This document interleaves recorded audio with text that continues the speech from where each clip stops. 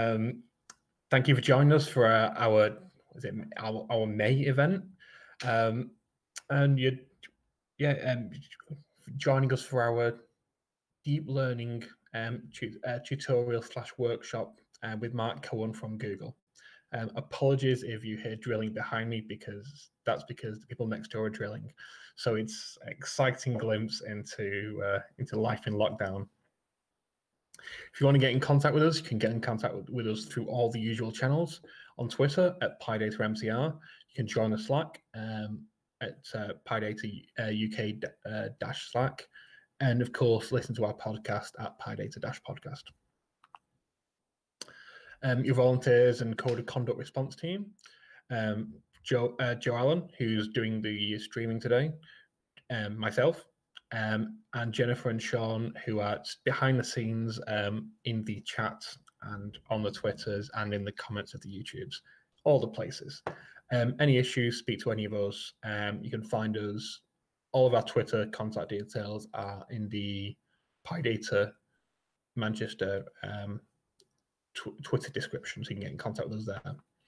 We've got um, a, we've got a code of conduct that it's important that everyone abides by, even during um, during lockdown, when we moving to the on um, while we're doing the online events. Um, so try try best to be inclusive. Um, PyData is a professional environment, so let's treat it as such and be friendly but still professional any issues, we've got um, the anonymous support form right there.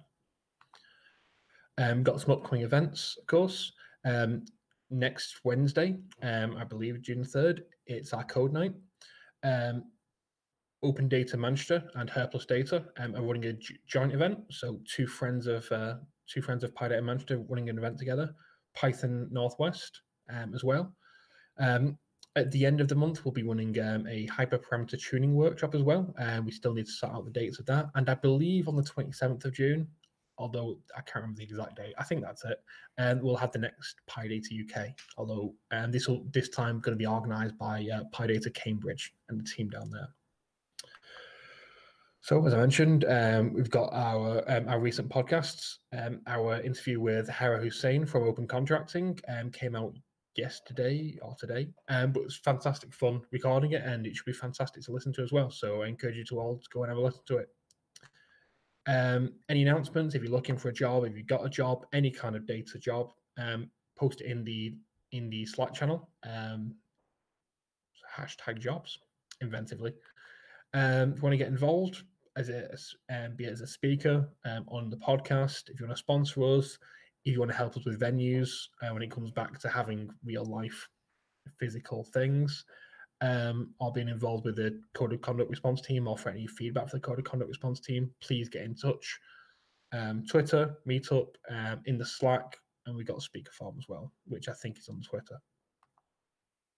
So tonight uh, we've got Marc Marc Cohen um, from Google um, who's going to be talking us through um, a little bit of an introduction to machine learning and some background to data science, um, before walking us through a deep learning, uh, I suppose, workshop.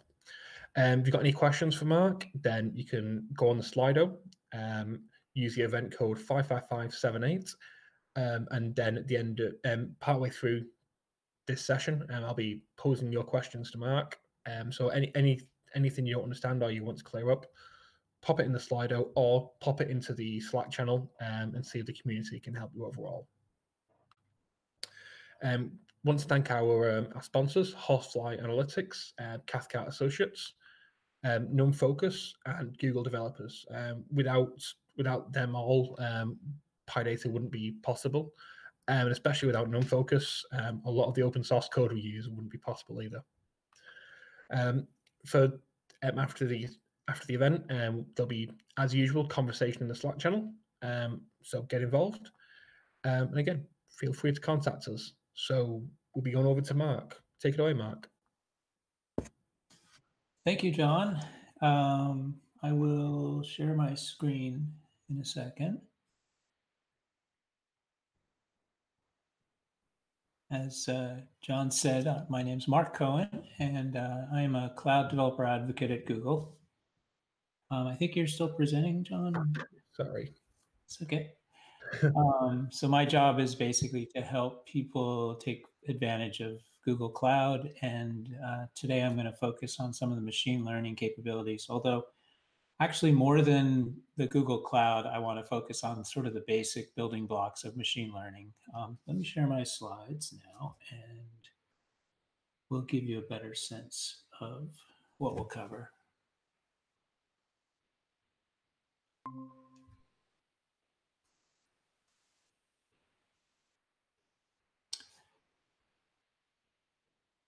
So hopefully everyone's seeing a big slide that says machine learning and the Google Cloud. And uh, yell at me if you don't see it. So um, thanks for joining me tonight. Um, the slides that you see that I'm presenting are available online at mco.fyi. It's this link in the lower right, mco.fyi slash mltalk. So feel free to go there now or anytime after the talk if you want to review these slides. Um, that's me. I have Twitter, I have email, I have a blog, like everyone. Uh, and so if you don't get a chance to ask something and I can help you, feel free to reach out to me at any of those um, venues. Um, what I wanted to accomplish today is to just make sure, bring everybody up to speed so that you know what ML is about um, and how to get some actual experience building a neural net as well as some ideas about solving machine learning problems in the cloud. The, um, the middle item is where we'll actually do a lab, like a hands-on uh, workshop together.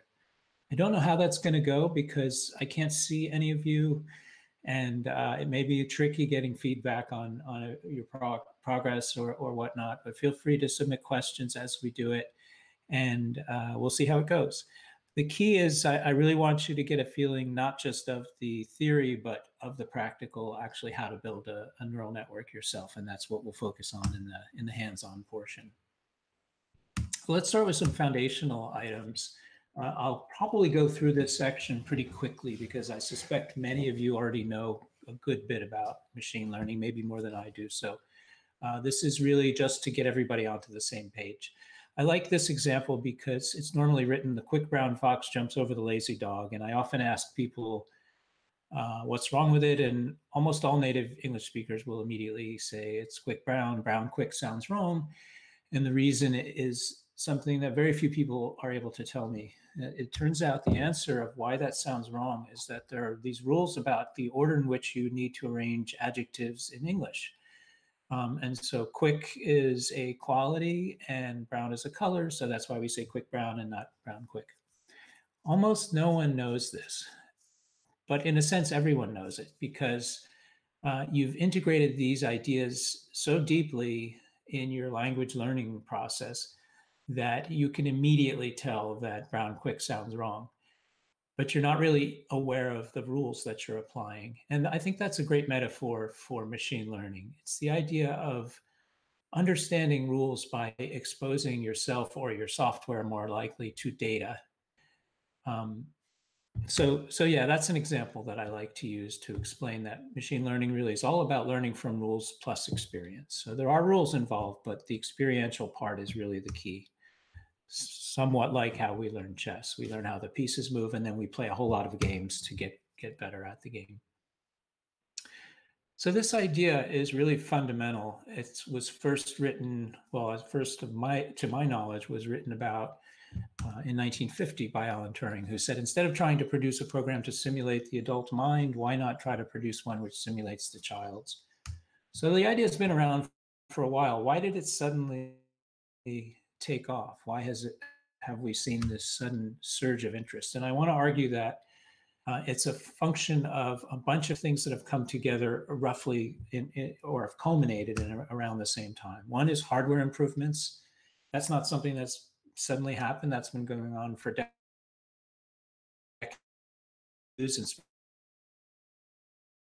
coming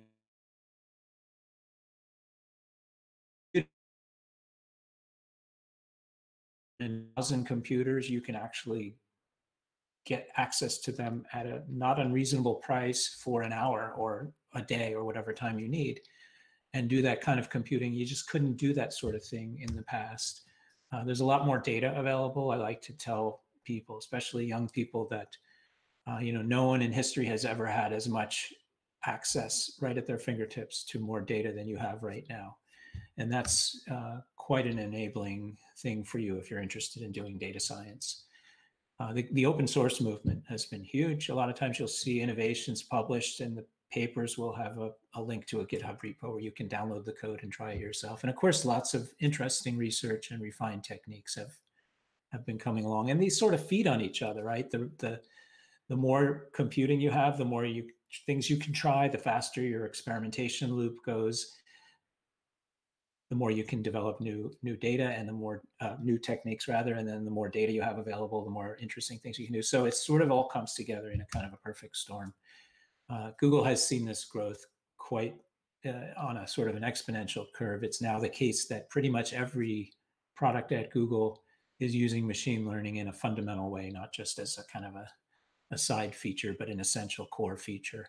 The graph you're looking at here is a uh, count of the number of project directories in the Google Mono repo, which have TensorFlow machine learning models. And this is actually not too not too recent. I need to refresh this, but um, the curve is exponential and it models a lot of other things we're seeing where we're seeing exponential growth and interest in this technology. This diagram is, or chart rather, is the, uh, the growth in the number of new papers in arXiv on machine learning. So um, it's not just Google, obviously, it's an industry-wide and really a worldwide academic phenomenon as well as industrial. Uh, this is a great paper. A lot of the slides in this talk are clickable, so you can click through this image to get to this article. Um, it's a New York Times article which uh, gave a really nice inside view of how this uh, developed and how it transformed the industry from the perspective of Google Translate. So I highly recommend that for background reading. Um, I'm not going to go through the litany of you know breakthroughs and interesting uh, developments we've seen over the last uh, decade or so, um, other than just to highlight one example, which I find interesting. So this was um, some work that was done to apply deep learning networks to retinal images. And one of the interesting things that came out of this study was they found uh, after the fact that they were able to use these images to predict cardiovascular risk. So more general circulatory uh, health by examining the, the circulation in your, ret in your retina. And what I find really intriguing about this was they didn't set out to, to look for this result. This was simply a byproduct of something, you know, something they know, serendipity. They noticed uh, when they were looking for other things that they had this correlation and they found this to be a very useful way to, to diagnose uh, cardiovascular disease. Um, so that's just a, a, quick, quick background. Um, I do want to go over a few uh, other concepts that are broader than, than deep learning. Uh, these three terms I like to clarify just because they're sometimes used interchangeably and different people have different uh, ways of defining them. For artificial intelligence is the entire eh, subject of trying to model and simulate uh, useful behavior artificially, uh, oftentimes human-like behavior, but um, machine learning is going down a level to a set of techniques which uh, follow the, the ideas I spoke about earlier, where we expose software to information and it starts to learn interesting features about the data and they make uh, useful assessments of the data and predictions. And then deep learning is a particular uh, technique within machine learning to uh, build these so-called neural networks, which tend to have uh, very good properties are computationally uh, expensive at times, but have, have produced some really interesting results over the last few years. There are many other techniques in AI and machine learning. I'm not going to go through all of these, but I've got some uh, sites you can visit to learn more about. Obviously, linear regression for people who've done statistics is a, is a commonly uh, known technique for, for analyzing data. Uh, decision trees are nice to know about. They uh, there's a there's a really cool demo if you click through this slide, where you kind of scroll through, and I'm not actually going to do the whole thing. and maybe I can't. yeah, there we go. So it takes some data and it shows you how it can be segmented and how you can analyze it in different ways, ultimately leading up to construction of a decision tree. Um, and so I highly recommend taking a look at that. Um, there are also other techniques like, sorry, uh, reinforcement learning, which has been quite an interest, produced a lot of interesting results in terms of teaching uh, software to solve certain tasks without having uh, data, supervised data to, to go by, just by having a reward function and a penalty uh, notion. And this is an example of, of uh,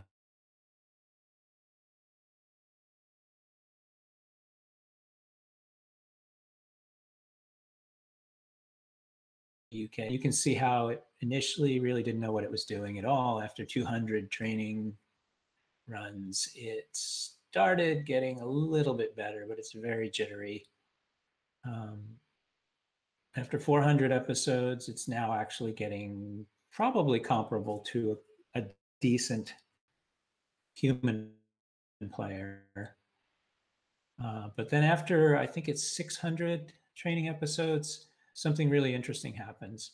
It starts to discover uh, that there's a, a, way to play the game that you might not even have ever known about if you've unless you've played this game a lot. But by directing the the ball to the corners, you can actually break through, and that's probably where the game comes game's name comes from. But I can rack up a lot of points there. So interesting that it didn't have to be told explicitly that this was a possibility. It found it and capitalized on it, and so um, sort of following that that theme of not having to enumerate, but letting the, the software discover interesting things about the world. Generative networks have been uh, a topic of great interest. They're um, somewhat notorious for a mechanism people use to build these deep fake uh, images and videos. This is an image from a a site called, I think it's called thispersondoesn'texist.com or something like that, where artificial human faces are rendered using a generative network. And in a nutshell, generative networks are essentially competitive neural networks where one network is building its best, is, is working as hard as it can to make the most uh, accurate rendering of a, of, of, a, of some target. In this case, it's a human face and another network is working hard to be the best possible judge of the same output. And so they're kind of working together as the, the discriminator network, the, the judge gets better and better. It's better at finding and instructing the uh, creator network as to which ones are, are good and which ones are not so good, and vice versa. They're, they're sort of keeping each other honest throughout the process. Anyway, the, all of that is just to summarize that there are lots of different techniques in this domain. The one we're going to focus on tonight is uh, deep learning and neural networks in particular.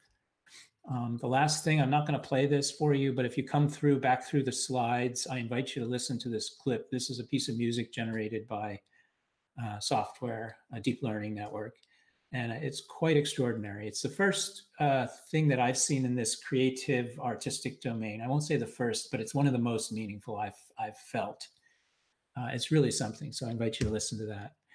Um, that's sort of the basics. Next up, I'll talk about uh, neural networks and we'll jump into the lab together. But before I do that, let me take a few minutes to see if anyone has any questions.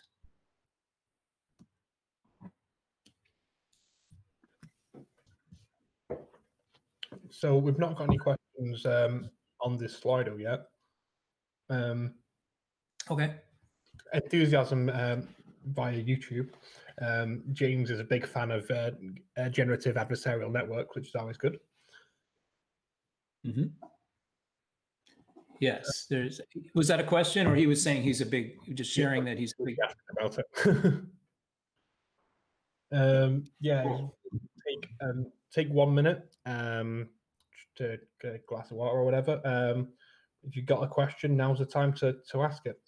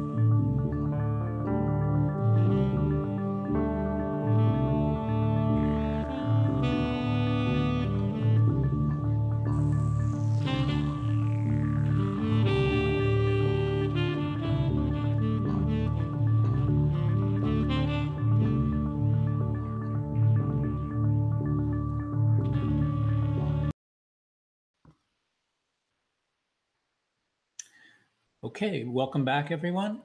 Uh, let me present slides. We'll now move into talking about neural networks and uh, start by just sharing the kind of the basic idea here. We've already covered this to a certain extent, but with classical programming, the way software has been written for, for many decades, we would uh, compose our programs based on rules. We would feed data into it and our rules would understand how to generate the answers. And the change is now we, we feed data and the answers, sample answers into the software and it spits out the rules. So that's the fundamental difference. And I want to try to illustrate that with an example. Um, if you visit the slides, again, you can click on that image and you should be able to read this, um, this visual calculator. If you can't, let me know.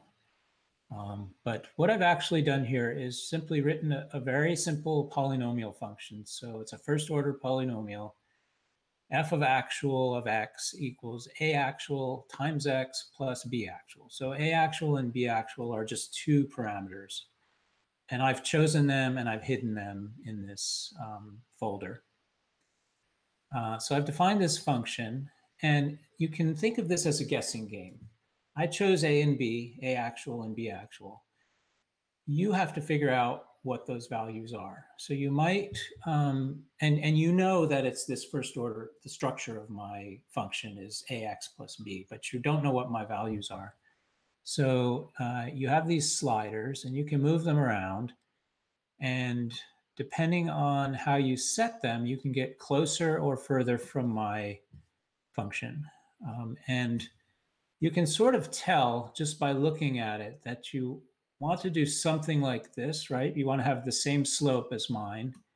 Then you want to move it until it gets closer and closer to my curve. And then you'll know that you've you've hit it. So it's this suggests that my actual parameters are minus 1.5 and 4, which it turns out that is exactly what they are. But this trick we do with our brains where we kind of just figure out how to find the right thing by looking at it. We're actually doing a lot of processing in our heads. And what we want to do is come up with an algorithm that we could use to, to do the same thing. And so what this bottom cell is showing you is what we call a loss function, which is where we take the uh, difference between the guessed function and the actual function, we square it and divide by the number of, uh, and, and take the average, divide by two, and we sum it over a number of samples. So you can think of the n or the x from minus n to n as the values we're feeding in uh, as our, our input, our samples that we want to do our, our guessing on. And that produces this number, which is effectively the loss function. And so if you move the, if you don't even look at the screen, if you move these sliders and take a look at that, what's happening with the loss function, you can see it gets to a minimum when the a value is tweaked to the point where it has the same slope as the actual function. And then you can get even lower if you move the b value so that the, the line gets closer to the actual. And then if you, of course, cross over it, the loss goes up and starts to get bigger. So this gives you the idea of how we actually find these, um, these uh, uh, functions or rather these uh, weights. I haven't even explained what the weights are about, but we're we're looking for these parameters that will make this model give us the correct outputs for some set of inputs. And this gives you an idea of how we can do that algorithmically. Now, I have one more sort of um, teaching tool like this, and you can take a look at this notebook as well yourself. It's at mco.fyi slash VML for visualize machine learning. And the way this works is it does, I mean, the example I just showed you was very trivial, right? It was a first order polynomial with two parameters. And this takes it to uh, an nth order polynomial. So let's go to a fourth order polynomial. And given that, you have five parameters to choose. Okay, and so with these sliders, you can tweak those parameters to your heart's content and you can watch the um, curve change as you move these values. Let me make something a little more, a little more curvy. Now what we can do is say guess, click the guess button. And what that will do is now take a wild guess about the, the curve. And all it's doing is generating five random values for those five coefficients. And then once we have a guess we want to start with, we can click learn. And what it's doing is very quickly uh, iterating by adjusting the coefficients until it gets the loss function between the guess and the target curve as low as possible. So this is now doing an nth order um, version of what I showed you in that in that two-dimensional calculator. It's still two-dimensional in the x uh, in the function's x value uh, sense in the polynomial, but it's n n dimensional in the sense of these parameters, and that's actually what we're trying to optimize here. So when we have a machine learning model, I like to think of it as a black box where it takes some input and it gives us some output and it has a bunch of dials on it. And the dials are the ones that we want to turn in order to get the best possible results. And the, the dials for this example are these coefficients. And uh, one thing we can do, you, now you might wonder, okay, well, how did we know, how did TensorFlow, this is running with TensorFlow JS, by the way, which is an, uh, a version of TensorFlow that can run right in the browser. How did TensorFlow know uh, how to move those coefficients to get closer and closer. And it uses something called, we call gradient descent. I suspect many of you know all about this. But um, if you reduce the polynomial all the way down to first order, and let's reset, uh, do a guess, we move the guess a little further away. Okay, so if you go with a two, uh, rather first order polynomial, what this notebook does is it uh, graphs the, this is labeled A, X, Y, and Z, but it's actually wrong. It should be A, B, and, and the loss function. So I have to fix that. But uh, the idea here is that you have these parameters and uh, the, the ones that you've chosen have resulted in um, 0.5 and, and minus 0.4 have resulted in this loss value that you're seeing here. Sorry, I want to set this up so it looks good. Um, now let's actually go to uh, this number of iterations is telling us how many numbers to try, how many times to go through the algorithm before adjusting the parameters. So let's pull that all the way down to one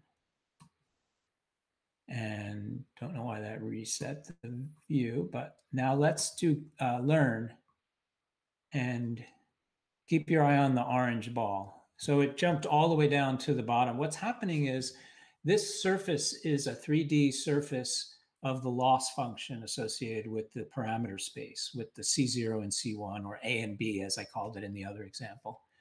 And so the uh, so TensorFlow is figuring out how to turn those dials by finding which um, turning the which direction and how much to turn the dial in order to get the the ball to kind of go down the hill as fast as possible. And you see it kind of made a yep. Uh, can you just zoom in a little bit just to uh, make the window a little bit bigger? Oh, yeah. Sure. Thank you. Yeah, that yeah, I think that's that's better. Thank you very much.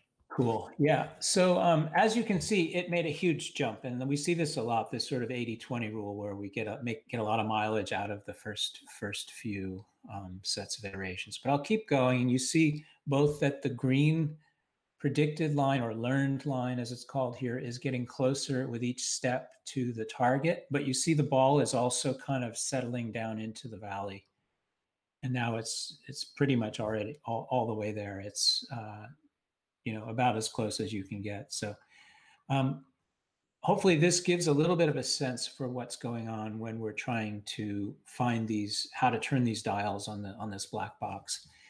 And uh, we'll see more examples of these boxes, but um, I want to invite you to come back whenever you like to this notebook. It should be available for you and you can play around with it.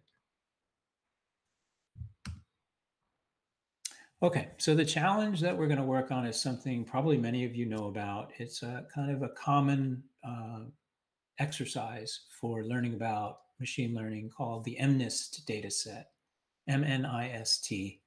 It's a famous um, classic data set of handwritten digits.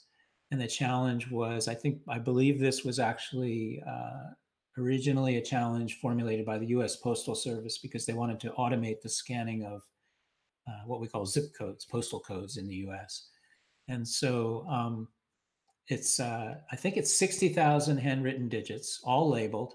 So this is where we get to the supervised learning kind of kind of model where in order to teach by example, you have to know what the right answers are for all your training data. So this data set fortunately has uh, 60,000 uh, pixel uh, pixelated digits and the appropriate labels, the correct known labels for each one. What we see as humans is some little blob, but what this is, uh, how this is stored inside the computer is essentially a grid uh, for the XY values of the pixels and the, or the XY locations of the pixels. And then the values are encoded um, on a zero to one basis uh, for how uh, dark the pixel should be colored in a, on a grayscale level. And so you have coming into the into your you're, you're going to build something. It's we'll call it a neural network uh, because that's what it's going to be. But we're going to build a tool that's going to take these images in, and imagine it takes these 28 by 28 pixels and stretches them out 784 linear pixels, and we want to somehow generate a number for each of the possible outcomes, each of the categories. So we can wire up each of the pixels to each of those output stages. We'll call them neurons. And uh, each neuron is responsible for one job. So the zeros neuron's job is, is, is to estimate the probability that the input string of pixels is a zero. One is responsible for detecting ones and so on. And by judiciously choosing the, uh, the weights we apply to each of those lines you see there, we can essentially fine tune the, these detectors, the quality of these detectors. By the way, the detectors don't just say, yes, it's a seven. They say, I believe with probability 0.63, it's a seven. So they're going to express probabilities. And the sum of all the expressed probabilities, like any uh, good probability distribution, will, will sum to one. How many um, weights are there here? Well, there's 784 times 10. That's 700, 7, 1,840 weights. That's those are the dials, right? So if you think of this as a black box, you've got seven, almost 8,000 dials to turn. And if you're human, uh, you're not going to have a good day. That's not going to be fun at all. Uh, but because of the tricks, the techniques, the optimization techniques uh, we kind of looked at in the earlier examples, um, we're going to have software that's going to automatically find its way to turn those dials in just the right way to optimize the, the quality of these predictions. So how do we do that? We're going to take batches of, of images, batches of these handwritten digits, and we're going to feed them through this network. Now, what does it mean to feed them through the network? Well, essentially, it's to multiply them by those weights. And so if you look at this uh, kind of matrix in the lower left, think of each row as a digit, right? So the first row is the eight, the second row is the four, third row is the six, and so on. So this is a matrix that's 784 pixels wide. And assume it's 100 images. We refer to this thing called a batch, which is just a collection of images we're going to put through this model as just kind of one step of our algorithm. So this is 784 pixels wide and 100 images tall. Now, the weights are these things that are going to be dynamically changing. They're going to start at some random values. And we can capture the weights with a matrix that's 784 rows by 10 columns. Now, why is it that? The, why are those dimensions the significant ones? Well, we need one column for every uh, detector neuron, every one of those output stage neurons. And we need one row for every pixel of the input. So this is that, this matrix is sort of the numerical representation of this uh, riot of, of weights uh, that I showed you graphically there. So let's look at this. Um, the, the, the matrix multiplication, and, and you don't actually need to know how matrix multiplication works in order to use this stuff. So I'm sharing some of this stuff just to explain kind of what's happening under the hood, but um, I've not done, you know, you do, you do not need to really use this because things like TensorFlow and PyTorch will do all this stuff for you. Uh, but I think it's fun to just understand what's happening. So when we multiply matrices, we kind of multiply a row by a column and then the next row by the next column. And when we do just the first step, the row by the first row by the first column, we multiply the pairwise elements and we get and we sum those multiplications and we get a result. So that's a prediction essentially. And if you think about it, the, the multiplication of a matrix is uh, the inner dimensions cancel out. So this is 780, or rather uh, 100 by 784 times 784 by 10. So we're going to end up with a matrix that's 100 by 10. And that makes sense because there's 100 images and we want 10 estimates for the probability of all digits. So anyway, uh, probably going through this in, in, a little more, more depth than I should, but um, the idea I want to get across to you is we're doing math here. We're taking a bunch of images, doing a bunch of mathematical operations, and getting all these predictions. And then what we want to do is take the predictions and put them through uh, what we call an activation function. And an activation function simply massages the results of that function in some desired way. Now, the output stage where we're going to apply these uh, this activation function, uh, it turns out to be a function called softmax is particularly helpful for for these sort of classification algorithms. And uh, the way this works, the reasons for that are that uh, softmax has this um, characteristic that it produces a, a, a, dis, a, probability distribution and it ensures all of the values are normalized and meaning they're between zero and one and they sum to one. But the other nice property is that it tends to, softmax tends to stretch out the winner, so to speak, and lower the rest of the rest of the, the runners up, as you can see by this graphic. So softmax is useful for sort of emphasizing which is the which is the leading candidate from this network. So to kind of back up a, a step here, um, you, I, I think all of the parts of a neural network we've now talked about, or almost all of them, uh, but this is sort of a general schematic for how these work. You have input data and you send them through layers. Now we had a very trivial network so far, which was a two layer network, or, or really it was a one layer network, but um, we send the data uh, more generally through a sequence of layers, and each layer is doing a data transformation, just like the one we looked at.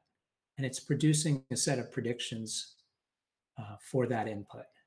And then we also know the true values for the same input, and we can compare the two. We use this loss function, just like we did in the polynomial example, and we get a score. And then we uh, turn it turn that information over to an optimizer. And the optimizer's job is essentially to find how to move that ball down the hill from that 3d graph. So the optimizer takes this loss score and everything it knows about the function and it turns the dials by adjusting those weights that are going to affect the next round through the network and then we just repeat that until we've done enough passes through the data or until we're satisfied for some other criteria that's the neural network 101 content. Um, the next step is a few slides and then a lab exercise. So we'll see how that goes. Um, any questions up to this point before I jump into the lab? Yeah, we've got, we've got a couple. So um, there's a couple of questions about, um, asking about if you can just go back over the 10 neurons and what they're used for. Um, that's all the detail I've got. I assume um, around kind of the 10 output, uh, like for the, I assume the output layer. Yes. And first, and in first, I guess underlying that, there's a new question about what layers even mean. Okay. Um, Yeah. So um, in these neural networks, we basically are creating little nodes that we call neurons. And their job is to take input uh, from a bunch of sources to run a function on them that we call the activation function and to produce an output. And a lot of people talk about how uh, these neurons are a rough analog, analog to the neurons in our brain, and that's why they're called neurons. They're not exactly the same as biological neurons, but they do uh, have that similar model of taking input, and the input is weighted based on the, the, the feed from upstream, and they perform some kind of calculation that tells the, the node or the neuron how strongly to signal its output. So um, think of the right hand section as a layer of 10 neurons. And each one is getting input from all 784 of these input pixels. I'm hesitating to call these a, a layer because um, I guess you could think of it that way depending on how you how you code it up. But really what's happening is we're just taking these values, multiplying them by some weight. So every one of these colored lines has a weight summing it all, and then running it through the activation function. And as far as what are these actually producing, um, let's say this image, this eight that you see here, is sent through the network. All 10 of these nodes, these neurons, will, will uh, essentially be fed 784 weighted sums. It'll add them all together, or weighted values. It'll, it'll add them all together, apply the activation function, and then spit out a probability. So you can think of the zero might spit out, you know, 0.01, one might say 0.02, three, because an eight kind of looks closer to a three than some other digits, it might say, well, I think there's a 0.2 chance or a 0.26 chance this is an eight, and so on. And the eight you would hope would very strongly signal, you know, 0.8, 0.9, something like that, that it thinks it's an eight. I hope that helps. Um, yeah, certainly. Thank you very much. Sure. Um, so we had one question just before um, that came in just after you moved on um, about the musical composition um, that you mentioned just mm-hmm. Um, now, I'm afraid I don't think I understand the question. Um, but the musical composition mentioned in the introduction, can you comment on the process and how machine learning can replicate aesthetic value judgment or taste? Uh, I think I would have to research it. I, I don't know uh, actually myself. This was, if you look at this video, it's a um, sort of a contest where they had a bunch of um, machine learning people, sort of like Kaggle, although it wasn't Kaggle that was running this one. They had a bunch of machine learning people try to generate music.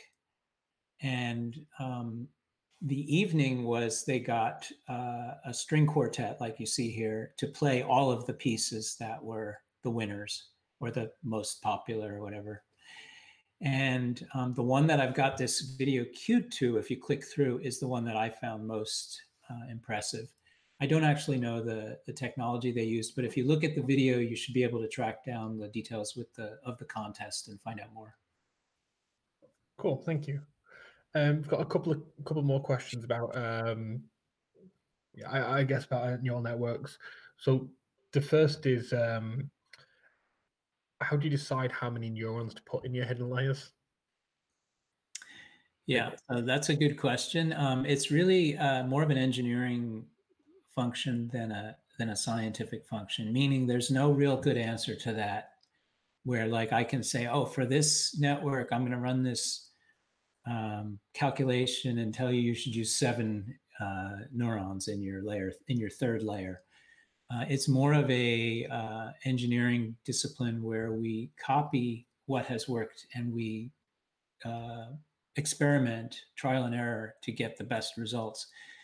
Now, having said that, humans are not very good at that. Machines are very good at that. And what we're starting to see now is something called AutoML, which is where we use neural networks to build neural networks. And I'll have some more slides on that later on in this talk, but it's actually proven to be quite quite a successful approach. Thanks. Um, And yeah, the second neural network question. Um, will you always have as many neurons in your final layer as your number of classes? For a classification problem, yes, typically you will. Yep. And um, you know, there are all sorts of different problems you're going to face, and they have different arrangements of output stages. They have different uh, final activation functions that they will typically use. I'll share a book at the end of the talk, which I think is the best resource I've seen for kind of a really nice rules of the road for how to build these these networks.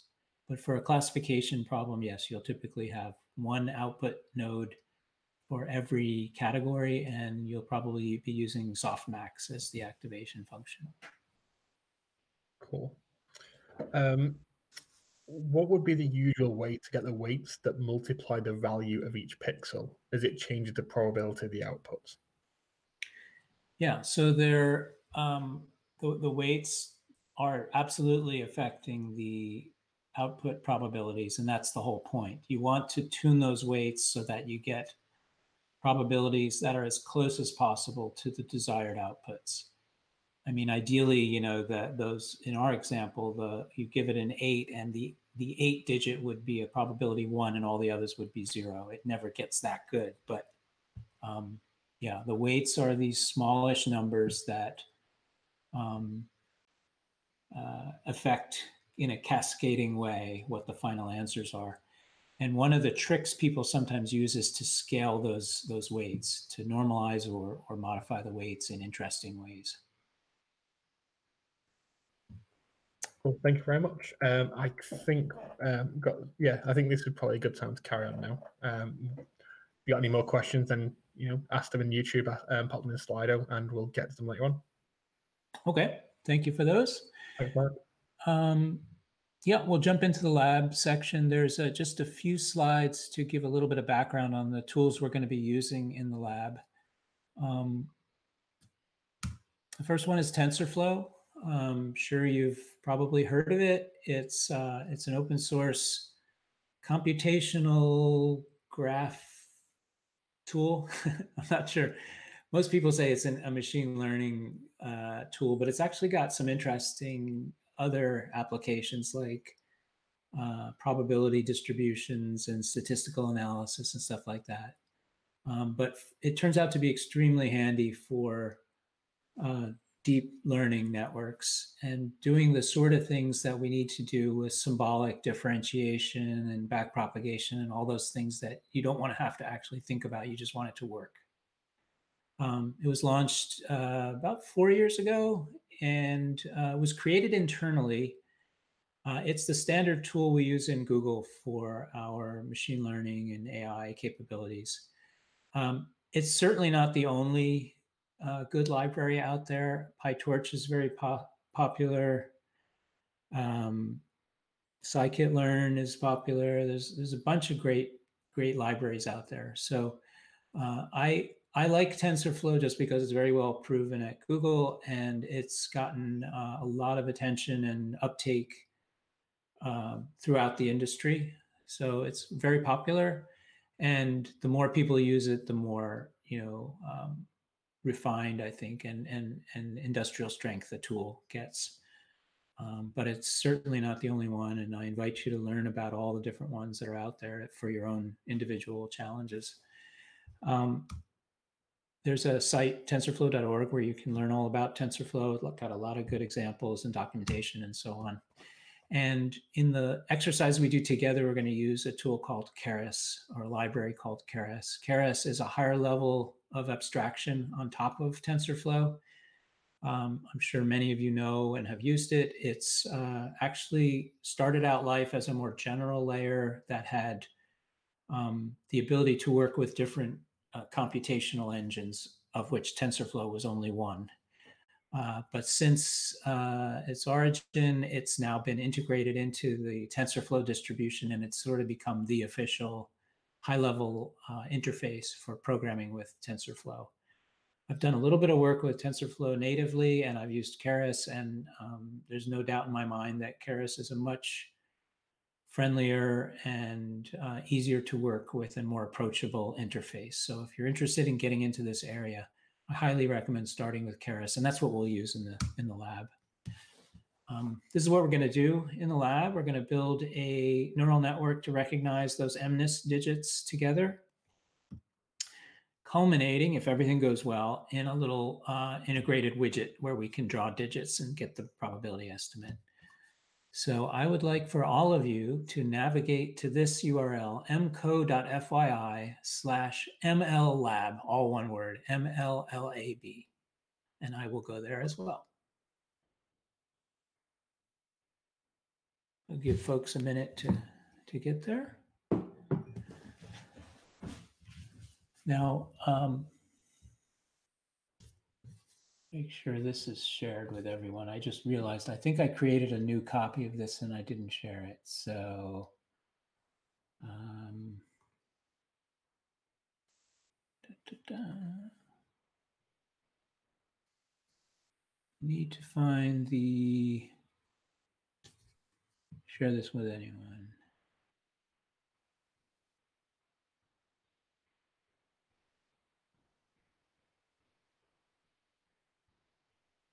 Okay, so if you struggle to get into that um, notebook, I hope you can now do it. I'm going to wait until I hear of at least a few people getting in. And sorry about that last minute glitch. Double check this. Anyone on the internet with this link can comment.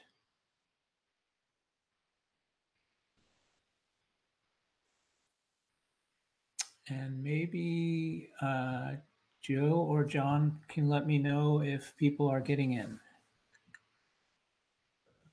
Yeah, just waiting for some feedback. Um, I'm waiting for it to load up my PC. Um,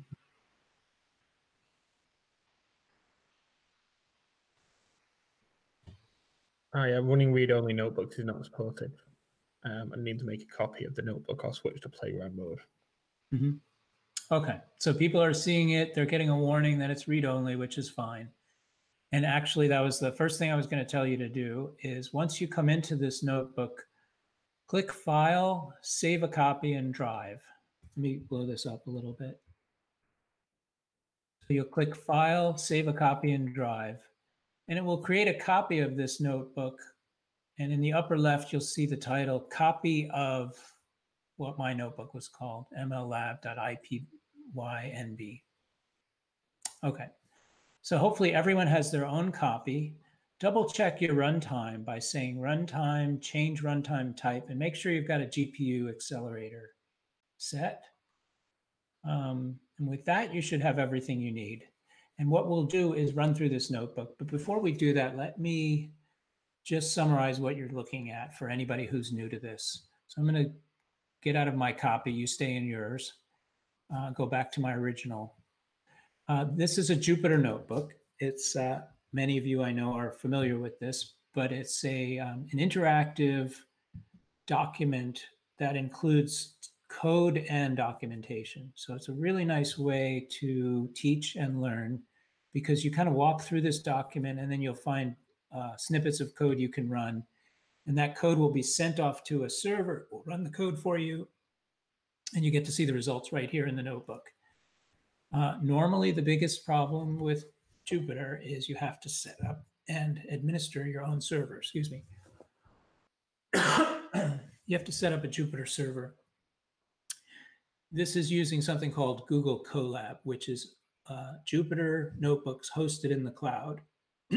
and it's very close to the model you see with uh, Google Drive, where um, you know you have your copies of your notebooks and you can share them as you saw I did earlier with with co collaborators, and um, you can actually save them in Drive or or in GitHub or other places, and um, it just takes away the hassle of having to stand up a server. So that's one of the reasons I like to use this.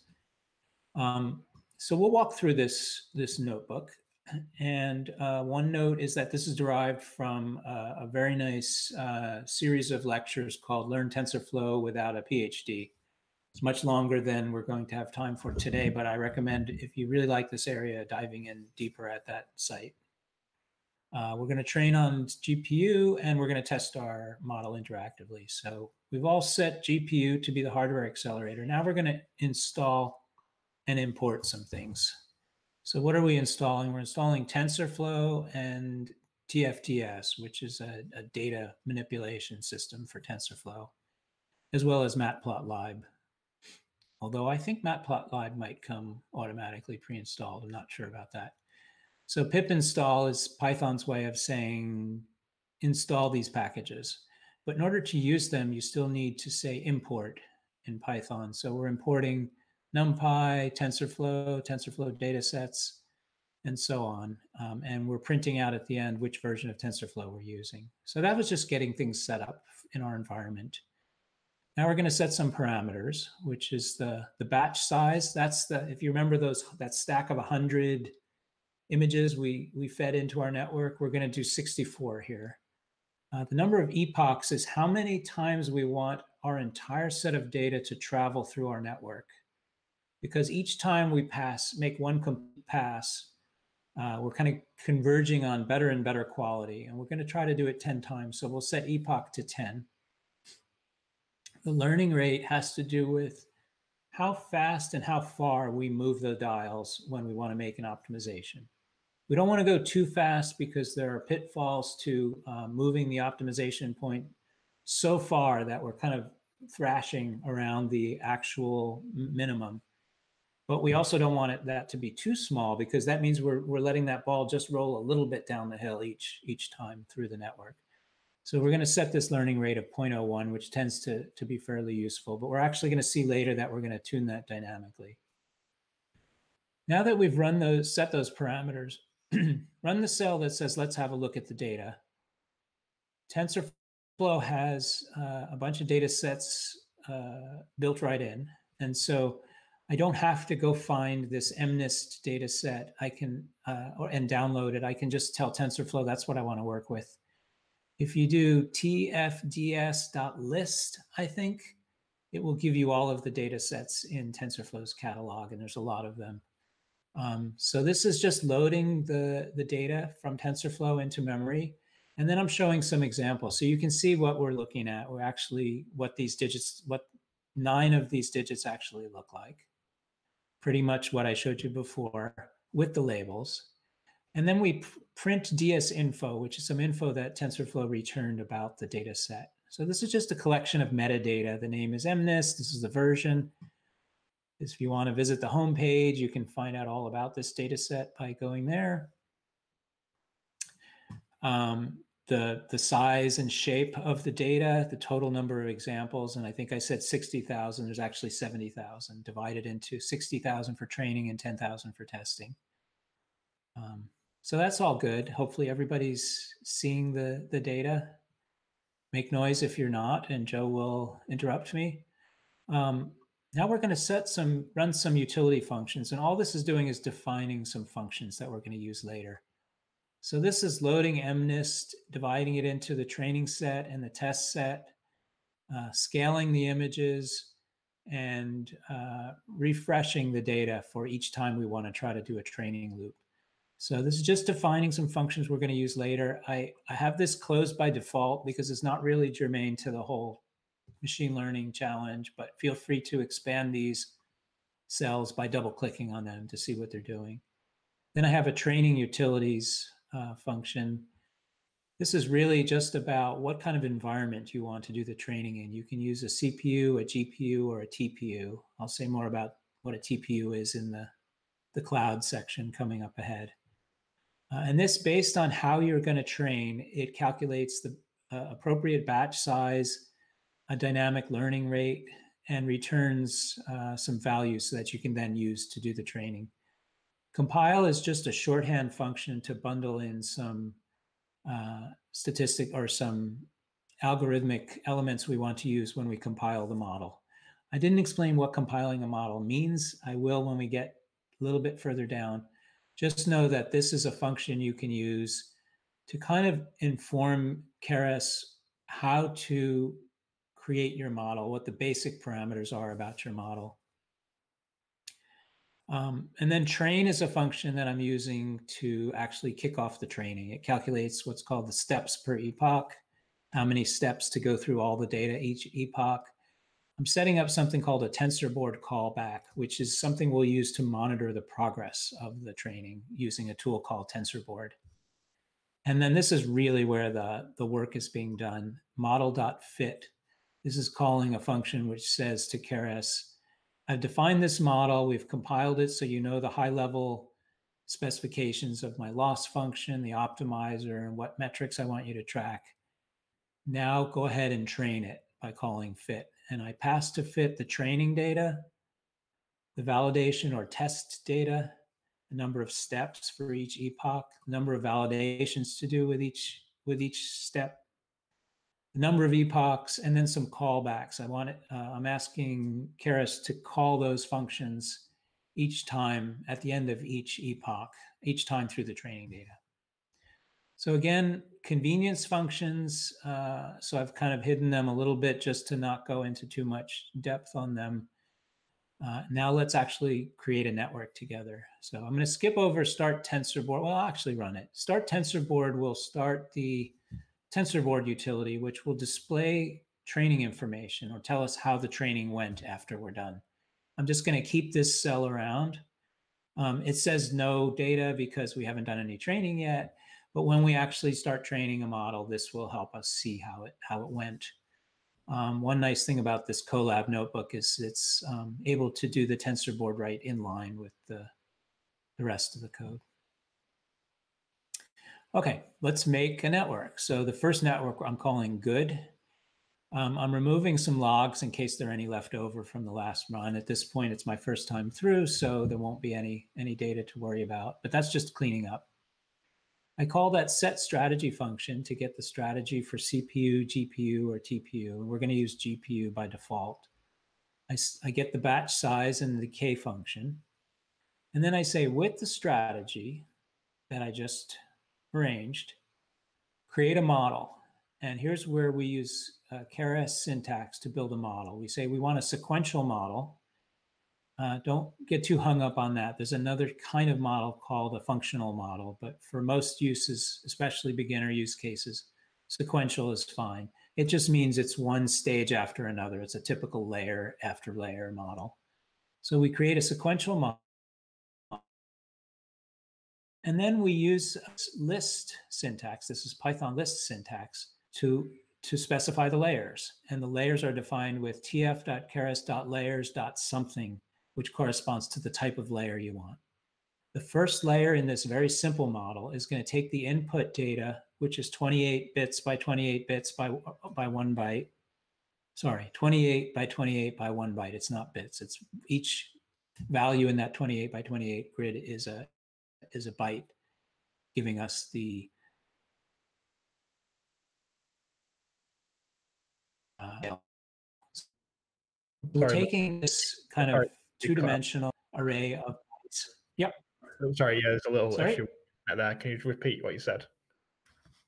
Oh yes, um, we're taking the uh, we're defining a, a, a, model here by specifying a sequential uh, model this is the simplest kind of model, and it corresponds to the one you'll most normally use. And we're defining a sequence in a list. This is Python list function. And the list has two elements, and each element corresponds to one of the layers in our neural network. And so you see this, um, this Keras interface is essentially like a Lego brick model where you say, here's layer one, here's layer two, here's layer three, and it just kind of assembles them into the actual software for you. So you don't have to think in terms of weights and biases and matrices and multiplication. You just specify the, the characteristics of the neural network at a nice abstract layer or way. Overusing layers a little too much. Um, so the two layers I've defined here, one is called flatten. It's taking the 28 by 28 grid of pixel values, grayscale values, and it's flattening them so that it's one long array of 784 values. It's just taking away the complexity of the fact that they're arranged in squares, square grids. And then I define a dense layer. And dense to Keras means this layer should have every node strongly connected to the previous layer. So this is telling it, I want 10 neurons and I want all 10 of them to be directly connected to every input in the flattened layer. And I'm also telling it I want you to use softmax as the activation function. So if you remember, that's useful because it gives us a probability distribution. So that corresponds to the, the diagram you saw earlier in my slides. This is that strongly connected uh, network, and it's just about the simplest possible neural network you could imagine creating.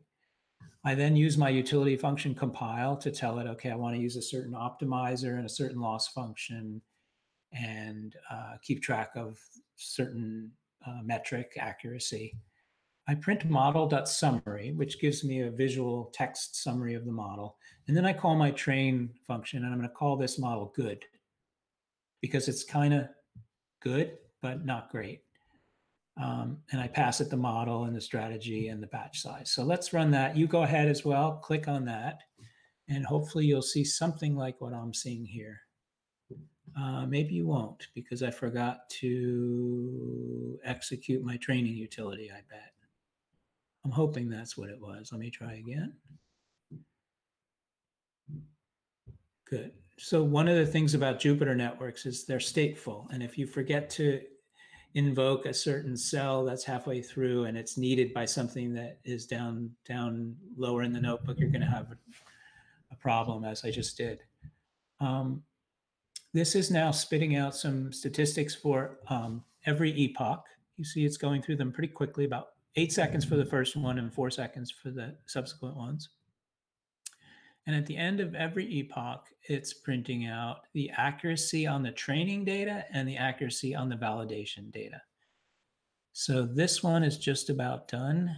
And it's showing us that on the training data, it's receiving about 93, it's getting about 93, almost 94%, and about similarly high 93 percentile on the validation data, on the test data. And if I now go back up to TensorBoard, should be able to, I think this is in a little bit of a weird state. So I'm going to restart TensorBoard and you can feel free to do that as well.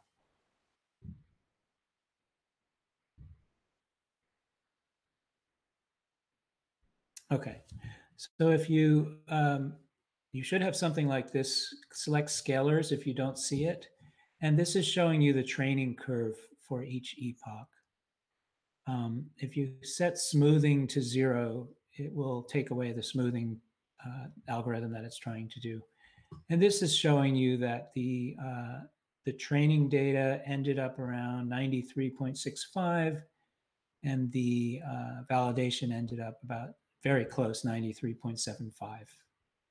So that's giving us a little bit of a history. And Tensor, TensorBoard, by the way, is useful for all sorts of other things, which I'm not going to go through, but you can see things like graphs of the network that you've created, um, distribute data distributions, and so on.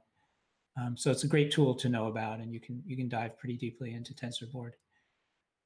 Um, let's just look at the network here it's model sequential, and then it shows a table of layers. Um, flattened layer has no parameters because it's just doing something very mechanical, one in, one out. Uh, but the dense layer has 7,850 parameters. And where does that come from?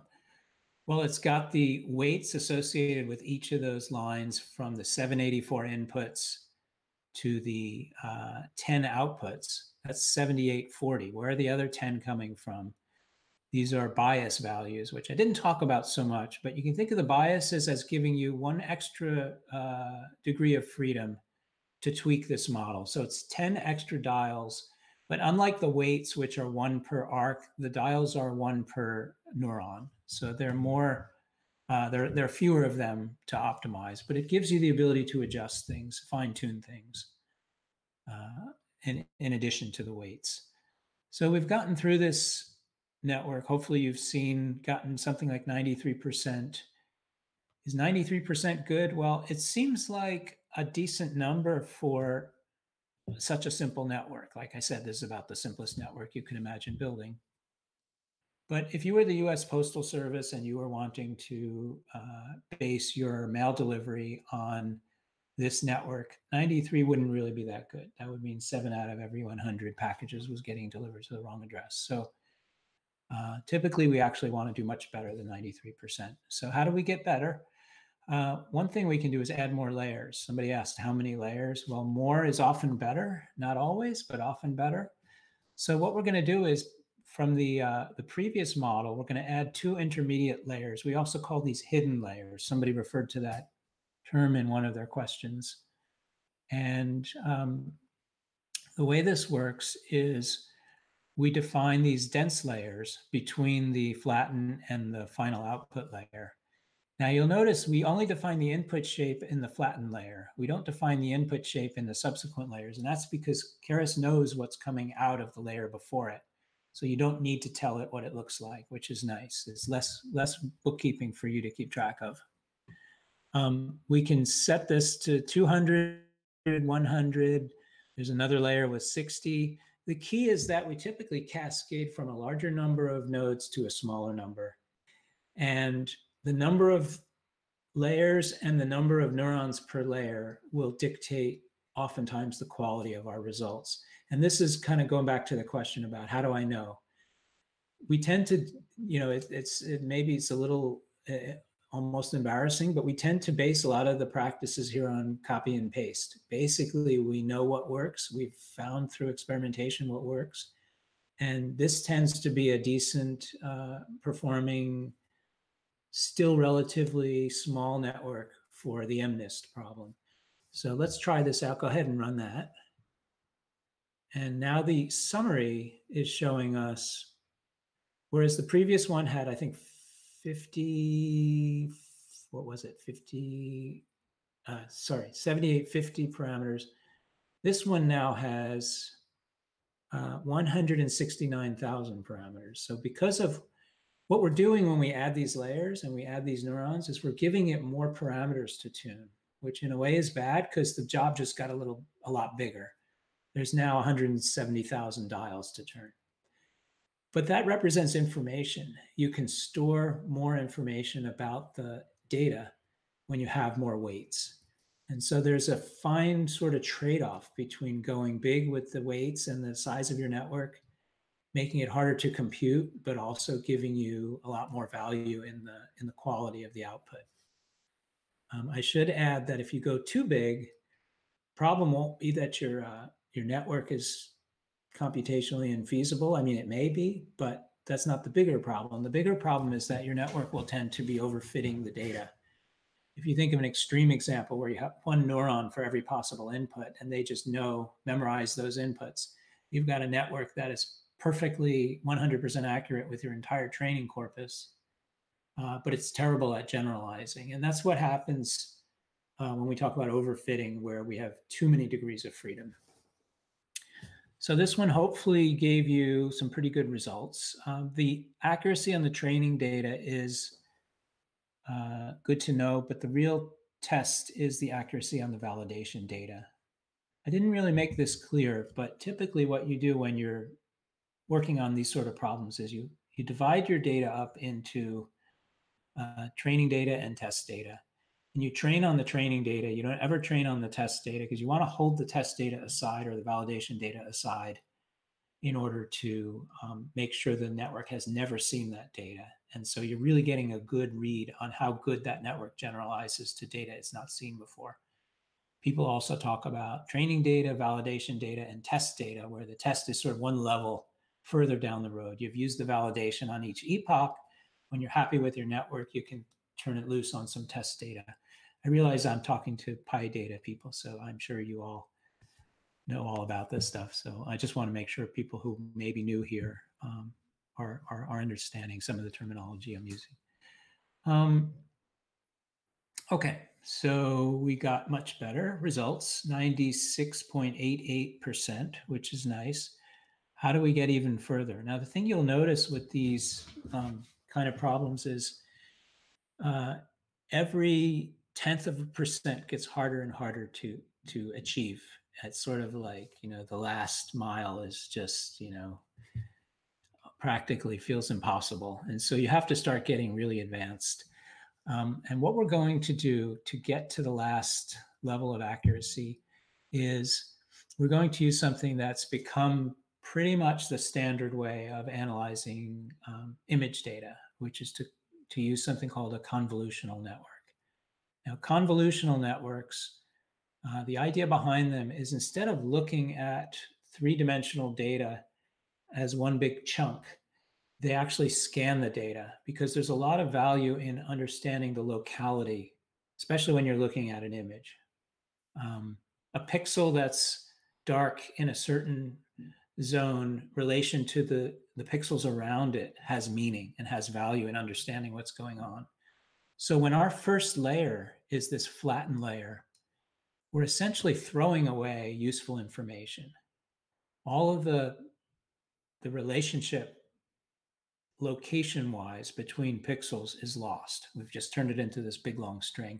And it's actually quite amazing that the network still does as good as it does even when we've thrown away all that information. But for our last optimization, we're going to not throw that away. We're going to take the input as it is, 28 by 28 by 1, and we're going to do something called convolve, which means uh, that we're using this conv 2D layer to create something called a convolution. Convolution means we're going to sort of scan the image, in this case, three by three, in three by three grids, and we're going to do something called batch normalization, which I'm not actually going to even try to go into, but it's a way of pooling the results of a layer to find to sort of optimize the output within that layer. So this stuff starts to get really uh, involved, and it's also like I'm going to be waving my hands and not really adequately explaining things in this example because to give it justice, I think I need a lot more time than I have. What I want you to do, if you're interested in digging deeper, is go to the P the machine learning without a PhD thing. And you can learn all about batch normalization and dropout. Um, but I actually I said something about combining results and pooling them. That's actually called batch pooling. Batch normalization has to do with tweaking the range of the weights of the out of the outgoing values rather. Um, the other thing that's interesting is this is using these convolutional layers typically use an activation function called ReLU, R-E-L-U which is different from softmax and it works better for these types of internal um, convolutional layers. So I've got three convolutional layers. Each one is doing this batch normalization and then applying the ReLU activation function. Once I'm through those three, and you can think of each, each of those convolutional layers as scanning the two-dimensional uh, data grid, one kind of grid at a time. When I'm through those three layers, I flatten it and I go back to a similar kind of model as I used before, a 200 uh, ne- neuron dense layer using batch normalization there as well and ReLU again. Then I apply something called dropout, which is useful for this overfitting problem I alluded to. Dropout simply randomly deletes uh, whatever percent of the node's outputs you want to get rid of. Now, why would you just blindly delete output values?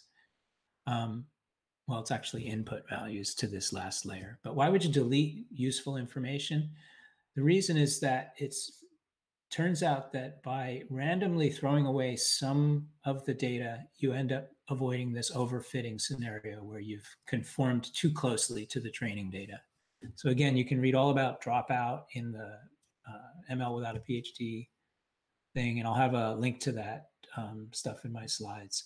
But the final layer is the one we've been seeing all along. It's the dense layer with 10 nodes and softmax activation. We're using our compile and train functions for the, the last time. And this is really the best we can, we should be able to achieve.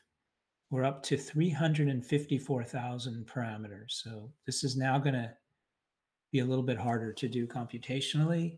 The reason it's going as fast as it is is because I had you um, configure a GPU at the beginning of this session.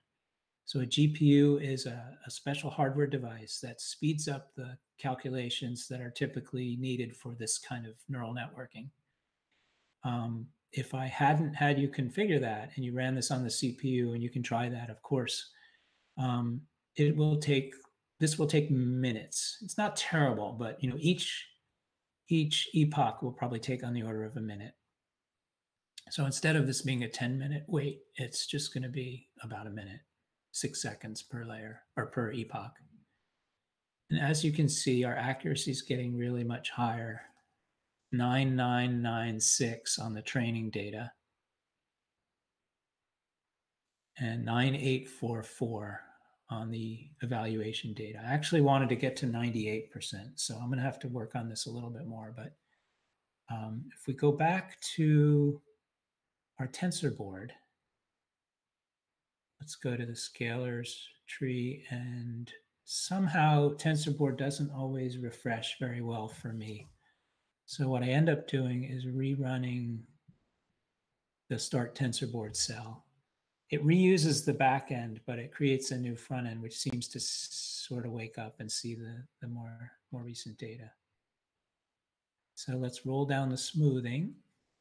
And yeah, we can see that, um, let's highlight just good or just good training better training, best training. So as you can see, the better training was really like the huge jump. Um, and then getting a little bit more quality just tends to be, to be harder. I think I'm not doing something right in the convolutional uh, example because in the past I've gotten that well above 99 in 99.5% on the validation data. Let's take a look at the validation data. That's good, better, and best. And so this shows that the validation is significantly improving each time. I'm not sure why my validation data is as discrete as it is. I think there's something not right there. Um, but hopefully this gives you a sense of, of how this stuff works and some of the tools you can use to, to create neural networks. Um, question came up, does the dense 10 parameter mean it's a complete network, full connections, given there are 10 digits? Uh, the very first network, it, dense means connect all of the input pixels, all 784, to the 10 output pixels. Uh, but dense in general means connect every neuron in this layer to all of the outputs of the previous layer. So this flatten is giving us 784, and we're connecting all 784 of those outputs to the 200 layers and uh, 200 neurons in this layer. This dense layer is saying, I want 60 nodes, 60 neurons, and I want every one of them connected to the 200 neurons in the previous layer. And then this dense layer is saying, I want 10 neurons, and I want each of those 10 connected to the 60 neurons in the previous layer. So altogether, we should have 60 connections from this one to this layer to this layer, 60 times 200 connections for the previous layer, and 200 times 784 and this is actually showing you that. You're seeing a little bit modulo the bias numbers, but this is giving you that. Okay, so that's it. We've made a super, pretty good, pretty high. I won't call it super amazing, but it's a it's a good quality neural network. Uh, we had to use a lot of tricks and and advanced techniques. Now I want you to try and actually exercise your network. So click this cell that says model.save. This is right after the the cell with the, the last model we, we built. Um, what is that doing? That is taking the model you just built and saving it to a file on disk. That's all. The next cell, click as well, is running a bunch of shell commands.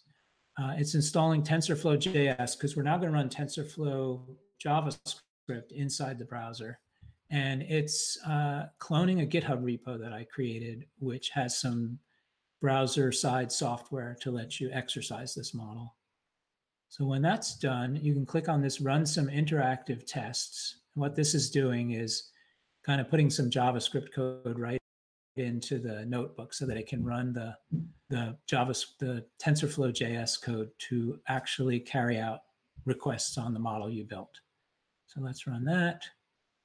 And you should see something like this, I hope. TensorFlow.js plus MNIST. That loading model should go away as it did. And now what you can do is take your mouse and draw a digit.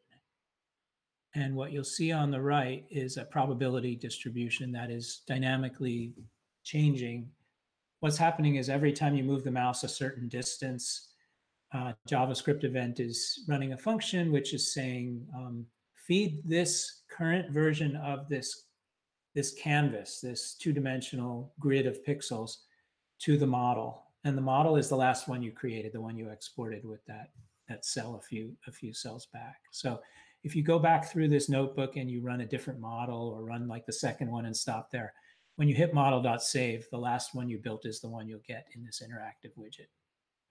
Um, so uh, yeah, it takes, it gets an event every time you move the mouse a certain amount.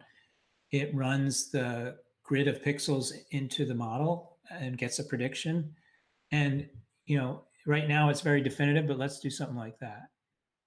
It thinks it's a one, but the seven has a probability as well. I'm just drawing random stuff to see if I can like confuse it. Thinks it's a two. Yeah, it's like, so this shows you that, you know, it's not just a all or nothing, it's probabilities that you're getting. And it thinks it's a four, which I guess that's kind of okay. Um, here's a real four. Here's a seven. Does pretty well. Um, I'll leave it to you as an exercise to see if you can fool this, this model. It's actually not that hard because there's something I'm not doing that I should do. And feel free to guess uh, during question time. Um, that's really it for the for the the interactive lab. The rest of this shows how to take a trained model and deploy it, train it, and run it on the Google Cloud platform. I'm not going to go through that because there's more setup to it. You need to have a Google account, I mean, a cloud account. And it's just, I mean, I just want you to know that you can do that. So if you want to train, uh, because this environment we're in, Colab, is not unlimited. Like it's free for everyone and, and nice, but if you actually try to do real production work on it, you will be throttled after a while because, I mean, your performance will be throttled after a while because um, you know, it's not made to just be an endless compute device. So if you have a, a production use for notebooks and for models, of course, um, we have a whole platform of products that you can use to train and deploy your models. And that's what the rest of this notebook's all about. Um, I think that's it for the, here's the um, link to the TensorFlow and Deep Learning Without a PhD series. So that's for advanced folks that want to dig, dive deeper. The rest of my talk, the third section, is about machine learning in the cloud, some of the tools we provide at Google for doing things. Um, and uh, I think I'll, I'll stop now for questions and maybe give folks a short break. Yep, thanks, Marc. Uh, we'll take a yeah a minute or two just for questions. Um, well, questions and a break. Okay.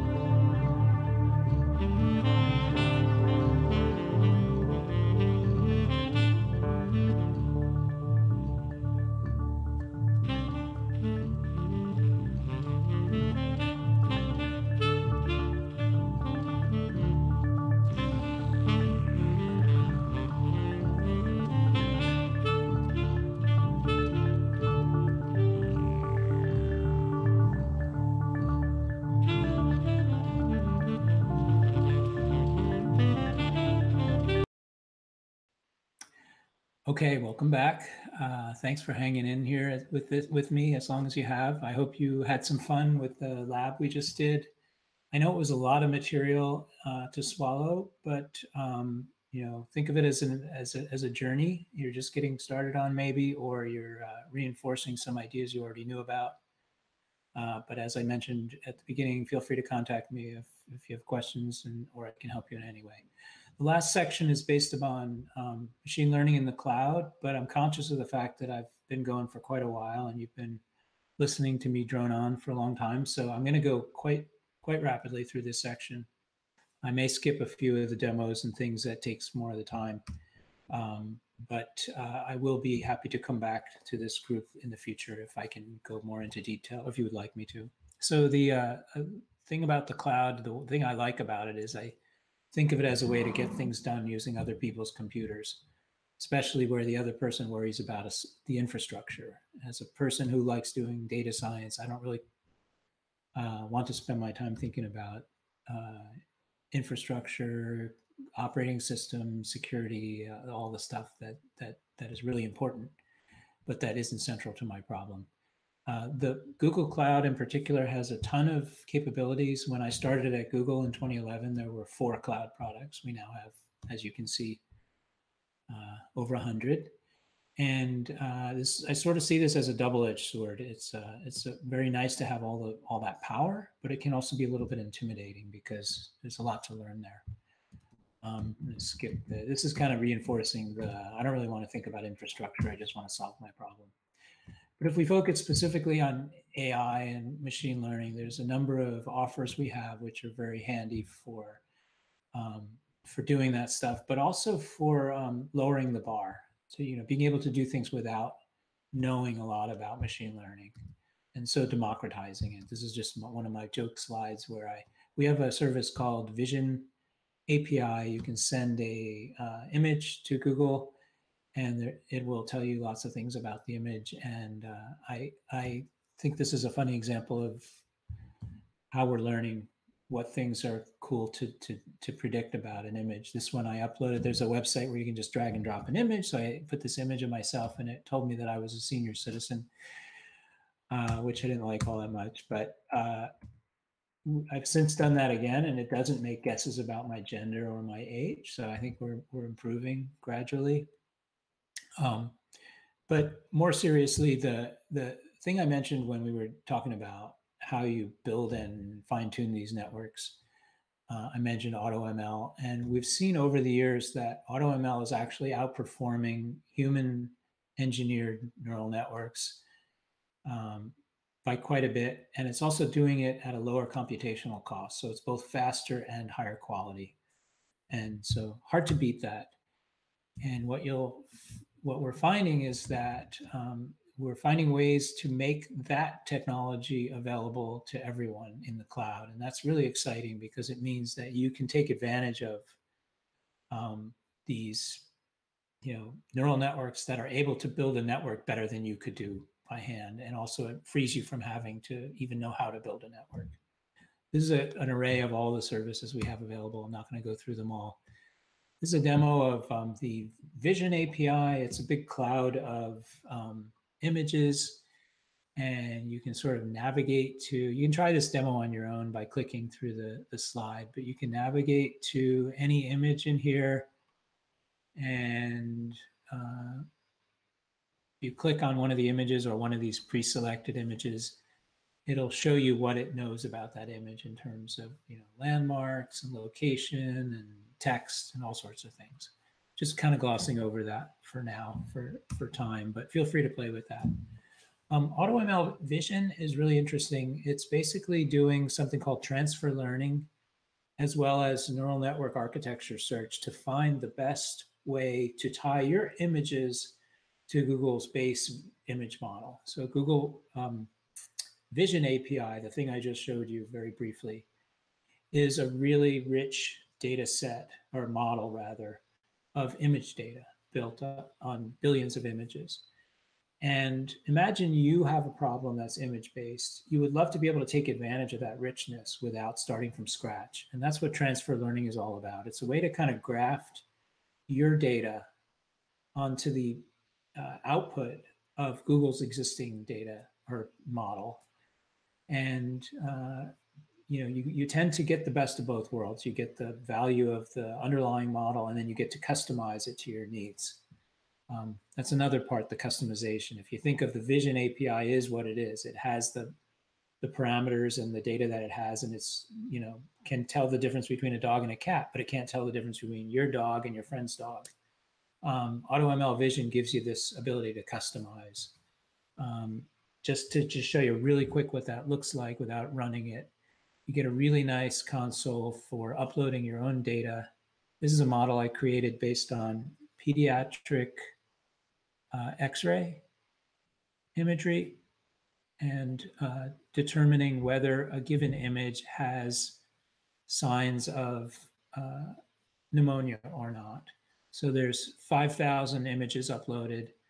Uh, 1,500 are, are labeled normal and 4,000 are labeled pneumonia.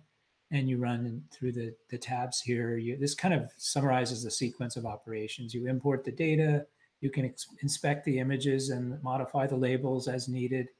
You can click train new model, and that will take a while. It's not something you're going to do interactively, but it'll send you email when it's done. Uh, it'll give you some evaluation statistics like a confusion matrix and um, precision and recall and all that kind of stuff. And then you can actually test it by uploading images. I'm not even going to do this for time purposes, but I can take a um, collection of images upload them and it'll give me predictions in real time on the images that I send it. And 5,000 images is not a lot, but due to the value of this transfer learning where I'm kind of piggybacking off of a very deep and rich model, I actually get quite good quality on this, on this AutoML uh, database. One more I want you to know about is AutoML tables. The idea behind that is you send Google a set of a, a, a table of data, typically comma separated values, and you define a target. And so the, the, the way this looks is similarly this tabbed view on the console where you upload data. One of the data sets I've been playing with is the, the Titanic passenger um, data. So you just hand uh, AutoML tables this raw data in comma separated value text format. You pick one of the fields to be the target. And train it. And Google will essentially uh, run through a bunch of different models. It'll look at uh, gradient boosting and uh, random forests and decision trees and deep deep neural uh, networks and deep learning networks, all these different techniques. And it will find the best model for the data you send it. So I really like this tool because uh, it just it makes life so easy for people who maybe don't have the background or don't want to necessarily dive deep into neural networks, but still to be able to benefit from the technology quite quite easily. Um, this is just to show that AutoML is is a real thing and is actually doing very well. This is a, a set of Kaggle petitions where um, uh, the the AutoML the team that that was in the front running uh, used AutoML and actually did quite well against their teams that using uh, human-based uh, algorithms or building their neural networks. That's it for the content. I just have a bunch of um, uh, resources, which I'm not even going to go through other than to just tell you that this is the book I was referring to early on when I said there's a really great book uh, that gives a lot of the rules of the road for how to build, what are these heuristics that we use to build these networks. Uh, this one is by Francois Chollet, who is the creator of Keras, and so he's he's a pretty formidable authority in this field, and it's just a beautifully written book. So I highly recommend that. Um, lots of things you can read about on your own, resources that I like that I learned from. Uh, there's a free tier, so if you want to use Google Cloud, you can get $300 worth of credits for 12 months to use any of this stuff there's a lot of stuff that's free without even signing up for the free tier. If you do the free tier, you have to give a credit card. There's some free stuff you can do without even providing a credit card. So I just wanted you to know about that. Um, and to close, uh, this is one of my favorite quotes. It's Tim Berners-Lee, who famously said, uh, "This is for everyone about the World Wide Web." And I feel similarly about uh, cloud computing and machine learning and stuff. I think I feel like it's really exciting and really enabling technology, but we have to. It's really important for us to make it available and accessible and approachable by everyone, not just you know computer science wizards. So with that, I will end the talk, and I'll be happy to take any questions. But as before, thank you for joining. Thanks to John, Joe, Sean, and Jennifer for inviting me, and I uh, hope that was helpful for you. Yeah, thank you very much for for um, all that the huge amount of content you've got, Marc. Um, huge amount of information, really useful. Thanks. Um, yeah, so we, we definitely do have a, um, a couple of questions. Um, well, we've got a lot of questions. I'm going to try and pick out some of the um, some of the pertinent ones. Um, so I guess there's a lot of questions about um, neural networks, and as you'd expect, and um, some of the things you went through during the uh, using the note with the, the interactive session. So I guess um, I'm afraid, unfortunately, these are all anonymous, so I can't I can't attribute these uh, questions correctly. But um, one of the first ones is, um, what's the purpose of an activation function? So the activation function is basically trying to make sense of the input. You know, you can imagine these all these weighted values are coming into a given neuron, and the activation function uh, effectively tells the neuron how to produce an output from them. And what you typically want from an activation function is something that's well behaved, that no matter how big the input is or how small the input is, it gives you a nice, reasonable value around between minus one and one, for example. Um, for a long time, people used uh, an activation function that was sort of sinusoidal. It would it looked like an S, and uh, nowadays we use this thing called ReLU in many cases because it has this interesting property of uh, it's the identity function for any value greater than uh, zero. So it is strictly increasing as you go from zero to one, but for any value below zero, it's zero. So it's this odd nonlinear function, but it, it uh, tends to give the, the network a lot of value in terms of finding the features of the input. Cool, thanks. Um, so you mentioned the dropout as a method to control for overfitting. Um, what are some other common methods um, to control for overfitting with neural networks? To control overfitting. Mm. Yeah, the typical way you'll find that you're overfitting is that the uh, you're you're looking at the progression of accuracy as the training cycle goes on, and what you'll see is it starts to get worse, or you'll also see that it's decent and then it's bad, getting bad for the validation data. It's going sort of backwards on the validation data. And so that's giving you a clue that the network is not generalizing. What you typically want to do is tweak things so that you get a steady, although um, reduced improvement over time, but a steady improvement with each epoch. And if you start to see the curve go down, down, down, and then start to turn up again, it's telling you that you're probably overfitting your data. Makes sense. Um, so when you reach um, very high levels of accuracy with additional components, um, do you have any comments around the potential trade-offs in terms of inter- in terms of interpretability? Uh, interpretability is really important, and I didn't touch on that at all in this in this talk. Um, there are a few different techniques people are using uh, something called Shapley, which is uh, sort of a way of varying the input and measuring how it affects the output to see what's um, you know causing the result that you're getting.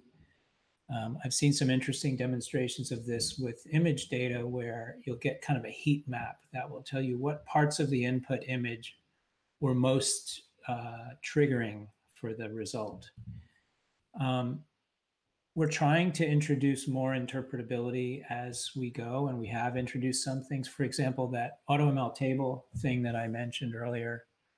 Um, if you do make a prediction in the test and use column, um, see if I do an online prediction. So this is like some random person on the Titanic's data, and I selected the survival binary value as the target, and it built a model for me And I think I say predict. And I'm going to click on generate feature importance. And that's a little bit of explainability there because it's going to give me a result. So up here it says, okay, this person uh, had an 8.872 probability of a survived value of one. So they had an 87% chance of surviving the Titanic. Um, but the local feature importance column is telling me what was most impactful on that result. So the 0.309 was the gender that had a big impact. The, the P class, I think that's the, uh, I'm not sure what the P stands for, but it's like the class, first class, second class uh, stowage or whatever, um, had an impact as well. So there were obviously economic factors on that. But um, that's just one example. The interpretability is really important, and we're we're working to to make some of these things more and more transparent in that domain. Yeah, thanks. There, there is a lot of work going on with that. Um, I know from the um, the Google Next last November, I think some of the big announcements were around this new suite of tools and ongoing research around improving explainability. Yeah, there's a couple of really good blog articles from Sara Robinson on on interpretability. Yeah, she's a fantastic Twitter follow. Um, um, yeah, so I think I think that's all the questions. Um, I apologise if, if I've missed any questions. Um, yeah, I, I, I, guess I'll double down on the uh, on the book by Fran- Francois Chollet. Um, I've yeah, it's been really really helpful for me. Um, Great. Yeah, and thank you, Marc, so much for joining us. Um, we'll make sure the slides are shared afterwards. Um, and yeah, thank you, thank you very much. Thank you for having me. Um, for uh, for tuning in. Um, we'll be back next week for um, for our interactive code night. If um, you know, so come along. If you got if you work on a project, you're looking for some help, um, or you're trying to figure out how to, uh, where to go next with your um, with your project, or you uh, or you're able to help anyone else out. Um, that's next Wednesday. Um, and yeah, we've got a, a lot of events coming up as well. So thank you very much.